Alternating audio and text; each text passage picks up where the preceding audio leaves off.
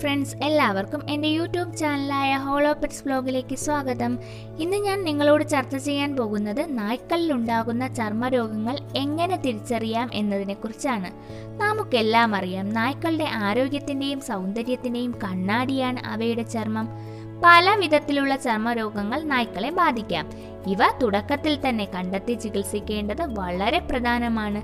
ഇനി നായ്ക്കളെ ബാധിക്കുന്ന ചർമ്മരോഗങ്ങൾ ഏതൊക്കെയാണെന്നും അവ എങ്ങനെ തിരിച്ചറിയാമെന്നും നമുക്ക് നോക്കാം. അതിനു മുൻപായി ഈ ചാനൽ ആദ്യമായി കാണുന്നവർ ദയവായി സബ്സ്ക്രൈബ് ചെയ്യുക. വീഡിയോ ഇഷ്ടപ്പെട്ടാൽ ലൈക്ക് ചെയ്യാനും ഷെയർ ചെയ്യാനും മറക്കരുതേ. പുതിയ പുതിയ നോട്ടിഫിക്കേഷൻസിനായി ബെല്ലൈക്കൺ പ്രസ് ചെയ്യുക. ബാക്ടീരിയ ഫംഗസ് ചെള്ള് പേൻ പട്ടുണ്ണി ഈച്ചകൾ മൽസീഷ്യ തുടങ്ങിയവയാണ് ചർമ്മരോഗത്തിന്റെ പ്രധാന കാരണങ്ങൾ. കൂടാതെ പോഷകാഹാരക്കുറവ് അലർജി ഹോർമോൺ വ്യതിയാനങ്ങൾ ശരീരത്തിലെ മറ്റു രോഗങ്ങൾ ഉപാപചയ പ്രവർത്തനങ്ങളുടെ തകരാറുകൾ ചർമ്മത്തെ ബാധിക്കുന്ന അർബുദം പാരമ്പര്യ തകരാറുകൾ എന്നിവ ചർമ്മരോഗങ്ങൾക്ക് കാരണമാകാം.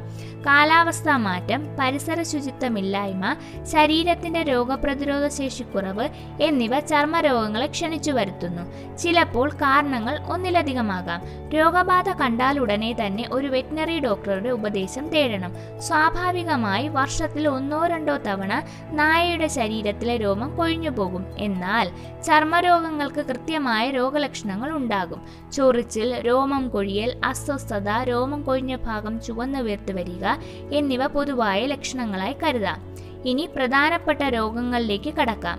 ബാഹ്യപരാധങ്ങൾ കൊണ്ടുള്ള രോഗങ്ങൾ. വിവിധ ഇനം പേൻ ചെല്ല് പട്ടുണ്ണികൾ മുതലായവ നായ്ക്കളിൽ കാണുന്നു. ഇവ തൊക്കിനെ ആക്രമിച്ച് രക്തം കുടിച്ചാണ് ജീവിക്കുന്നത്. ഇതുമൂലം നായ്ക്കൾക്ക് അസ്വസ്ഥതയും ചൊറിച്ചിലും വ്രണങ്ങളും ഉണ്ടാകുന്നു. മാത്രമല്ല ഇവയ്ക്ക് മറ്റു പല മാരക രോഗങ്ങളും പരത്താനുള്ള കഴിവുണ്ട്. ഇവയ്ക്കെതിരെ പ്രത്യേകം ഷാംപൂ സ്പ്രേ ഇവ ലഭ്യമാണ്. ചെറിയ പേനുകളെയും മറ്റും കണ്ടുപിടിക്കാൻ രോമം വിശദമായി പരിശോധിക്കേണ്ടതാണ്. നീളം കൂടിയ രോമമുള്ള ഇനങ്ങളിലാണ് ഇവ കൂടുതലായി കാണുന്നത്. മെയിൻസ്. ത്വക്കിലെ കോശങ്ങളെ തുരന്നു നിന്ന് ജീവിക്കുന്ന ചില സൂക്ഷ്മ ഇനം ജീവികളാണ് ഇതിനു കാരണം. കഠിനമായ ചൊറിച്ചിൽ വേദന ചുവപ്പ് നിറം കുരുക്കൾ മുതലായവയാണ് ലക്ഷണങ്ങൾ. എല്ലാ പ്രായത്തിലുമുള്ള നായ്ക്കളെ ഇത് ബാധിക്കുന്നു. നായ്ക്കളുടെ രോഗപ്രതിരോധ ശേഷി കുറയുമ്പോഴാണ് ഈ രോഗം കാണുന്നത്. അതിനാൽ ആരോഗ്യ പരിപാലനം ഈ രോഗനിയന്ത്രണത്തിന് അത്യാവശ്യമാണ്.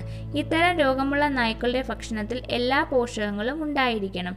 ഇഞ്ചക്ഷനുകളും ഗുളികകളും ഉപയോഗിച്ച് ദീർഘകാല ചികിത്സ ഈ രോഗത്തിന് ആവശ്യമാണ്.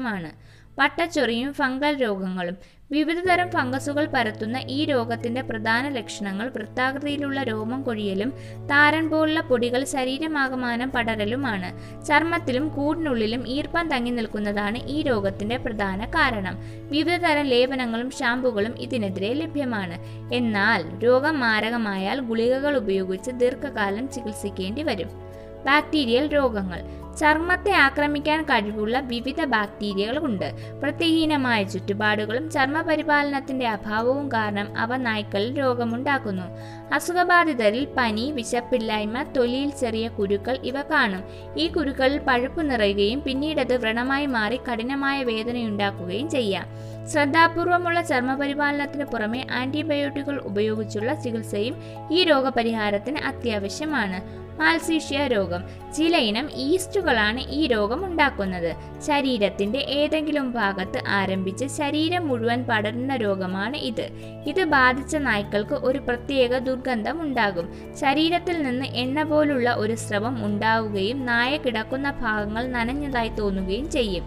ചൊറിച്ചിൽ രോമം മുഴുവനായോ ഭാഗികമായോ കൊഴിയുക ചർമ്മത്തിന് നിറം മാറ്റം ഉണ്ടാവുക താരൻ ഉണ്ടാവുക ഇവയൊക്കെയാണ് ലക്ഷണങ്ങൾ. ഇതിന്റെ ചികിത്സ താരതമ്യേന ചിലവേറിയ ഒന്നാണ്. അതുകൊണ്ട് തന്നെ തുടക്കത്തിലെ മനസ്സിലാക്കി ചികിത്സ നൽകേണ്ടത് അത്യാവശ്യമാണ്. അലർജി രോഗങ്ങൾ. മനുഷ്യരിലെ പോലെ തന്നെ നായ്ക്കളിലും വിവിധ അലർജികൾ കാണാം. ചർമ്മത്തിൽ കുരുക്കുകളും തടിപ്പുകളും പ്രത്യക്ഷപ്പെടാം. വിവിധ മരുന്നുകൾ ചില ഭക്ഷണ സാധനങ്ങൾ പ്രാണികൾ പുഴുക്കൾ പൂമ്പൊടി ഇവയൊക്കെ അലർജിക്ക് കാരണമാകാം. അലർജിക്കുള്ള മരുന്നുകൾ ഉപയോഗിച്ച് ഇത് എളുപ്പത്തിൽ സുഖമാക്കാവുന്നതാണ്. അലർജി ഒരിക്കൽ വന്നിട്ടുള്ള നായ്ക്കളെ വീണ്ടും അത്തരം സാഹചര്യങ്ങൾ ഉണ്ടാവാതെ ശ്രദ്ധിക്കേണ്ടതാണ്. ജന്മനാലുള്ള രോഗങ്ങൾ അതായത് പാരമ്പര്യ രോഗം ചില നായ്ക്കളിൽ ചില രോഗങ്ങൾ പാരമ്പര്യമായി കാണപ്പെടുന്നു. അവയ്ക്ക് ശാശ്വതമായ ചികിത്സ ലഭ്യമല്ല. ജീവിതകാലം മുഴുവൻ ചികിത്സ ആവശ്യമായി വരുന്ന ഇത്തരം രോഗങ്ങൾ തിരിച്ചറിയാനും ബുദ്ധിമുട്ടാണ്. വൈവിധ്യമേറിയ ലക്ഷണങ്ങൾ പ്രകടിപ്പിക്കുന്ന ഈ രോഗങ്ങൾ മറ്റു ചികിത്സകളോടൊന്നും പ്രതികരിക്കില്ല. അത്തരം രോഗബാധിതരെ പ്രജനനത്തിൽ നിന്നും ഒഴിവാക്കുന്നതാണ് നല്ലത്. കൂടാതെ ശരീരത്തിന്റെ ആന്തരികാവയവങ്ങളിൽ ഉണ്ടാകുന്ന പല രോഗങ്ങളും ചർമ്മരോഗ ലക്ഷണങ്ങൾ കാണിക്കാറുണ്ട്. മൂത്രാശയ രോഗങ്ങൾ പ്രമേഹം അർബുദം ഗർഭാശയ രോഗങ്ങൾ എന്നിവ ചില ഉദാഹരണങ്ങളാണ്. ഇത്തരം അവസ്ഥയിൽ ശരീരത്തിന്റെ ഒരു പ്രത്യേക സ്ഥലത്തു നിന്നാവില്ല പലപ്പോഴും രോമം കൊഴിയുക. ആരോഗ്യമുള്ള ചർമ്മത്തിന് zinc vitamin A vitamin E എന്നിവ അടങ്ങിയ സിറപ്പുകൾ വളരുന്ന പ്രായത്തിൽ തന്നെ നായ്ക്കൾക്ക് നൽകണം. രോഗലക്ഷണമുള്ള നായ്ക്കളെ മറ്റു നായ്ക്കളിൽ നിന്നും കുട്ടികളിൽ നിന്നും മാറ്റി നിർത്തണം. അവയെ കിടക്കയിലും വീടിനകത്തും കിടത്തുന്നത് ഒഴിവാക്കണം. രോമം പതിവായി ചീകി മിനുസപ്പെടുത്തണം. ശരീര ദുർഗന്ധം വരാതെ മാസത്തിൽ രണ്ട് തവണയെങ്കിലും കുളിപ്പിക്കണം. നായ്ക്കൾക്കുള്ള സോപ്പ് തന്നെ ഉപയോഗിക്കണം. മാസത്തിൽ ഒന്ന് രണ്ടു തവണ ഷാംപൂ ഉപയോഗിക്കാം. ഷാംപൂ ഉപയോഗിക്കുമ്പോൾ കണ്ടീഷണറും ഉപയോഗിക്കണം. മനുഷ്യർക്കുള്ള ഷാംപൂ ഒഴിവാക്കുക. ഡെറ്റോൾ നായയുടെ ചർമ്മത്തിന് അലർജി ഉണ്ടാക്കും. ഉപ്പടങ്ങിയ ഭക്ഷണങ്ങൾ ഒഴിവാക്കുക എന്നിവയാണ്. നായ്ക്കളിലുണ്ടാകുന്ന ചർമ്മരോഗം കണ്ടാൽ ഇനി നിങ്ങൾക്കും തിരിച്ചറിയാനാകും. രോഗലക്ഷണങ്ങൾ കണ്ടാൽ ഉടൻ തന്നെ ഒരു വെറ്റിനറി ഡോക്ടറുടെ നിർദ്ദേശം തേടാനും മറക്കരുത്.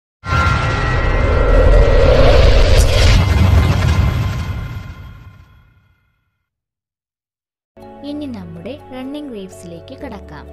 വീട്ടിൽ മെയിൽ ആൻഡ് ഫീമെയിൽ ഡോഗ് ഉണ്ടെങ്കിൽ നമുക്ക് തന്നെ ബ്രീഡ് ചെയ്യാൻ പറ്റുമോ എന്നതായിരുന്നു നമ്മുടെ വ്യൂവറിന്റെ സംശയം.